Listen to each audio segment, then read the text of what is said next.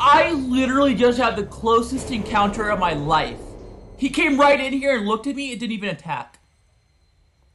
It literally didn't even attack me. That was nuts. Like, it just went right by me. Coming back? Okay, I'm gonna go hide behind one of these. Roblox physics, please. Please protect me. Freddy, Chica. I smell you. Peekaboo, I smell you. Okay, come on. Don't be like a fun. 20, thir- don't be a 30 second episode. Please don't be a 30 second episode. I gotta move, I gotta move. I can't, I can't trust this. I literally cannot trust this.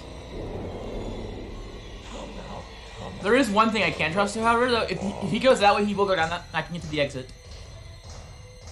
No, don't don't come in here!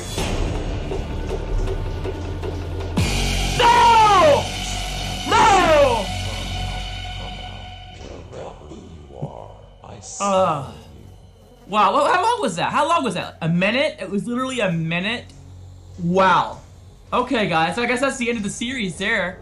A minute long episode? Beautiful.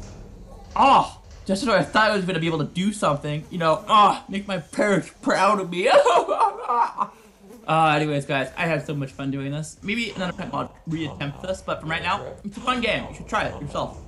Pretty easy. Hope I hope you can get past this part, unlike me.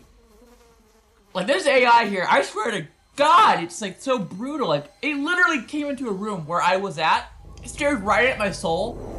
There's no one there. But of course, it comes into the room I was in. I should have just like freaking stayed the corner there. I could have gotten out. Th- that thing is just too much fast, too quick for me. Anyways, guys, I will see you in the next episode. Bye bye.